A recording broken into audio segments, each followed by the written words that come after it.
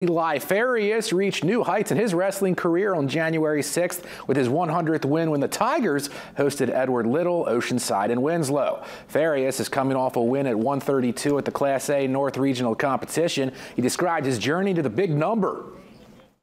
Need a lot of commitment. Um, you don't really have much time during the season. You've got to go everywhere, do everything you can to be the best wrestler you can. From going to different practices, just like I'm at Cony, um, to going up to Skowhegan to practice there. Just trying to find different levels of wrestling that you can get better yourself. Farias earned his 100th win with a pin while earning a technical fall 16 to nothing victory for the regional title. He's reached these numbers while missing his freshman season due to the COVID-19 cancellation.